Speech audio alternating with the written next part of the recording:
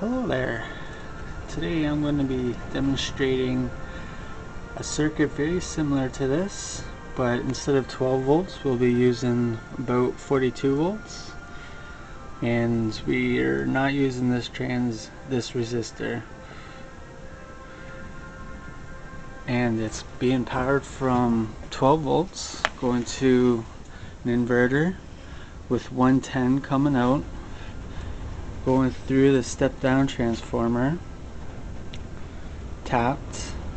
So it's at 40 being rectified and then these caps are getting charged. And then it's coming up to the kacher and this is a SC 5200 transistor. Very good for these types of things. So it's um and this is going to be the frequency. We'll see it's about 5 amps on 12 volts, so 60 watts. So let's check this out.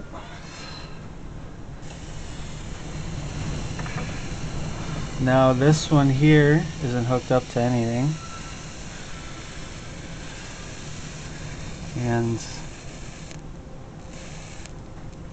got some nice current plasma there and then the receiver here very thick. Very cool, very nice. Oh yeah, also there's a neon here across the collector and the emitter just in case for protection. And then uh, the frequency here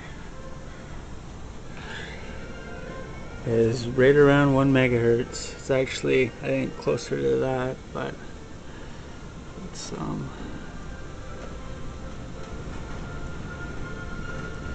right there from peak to peak.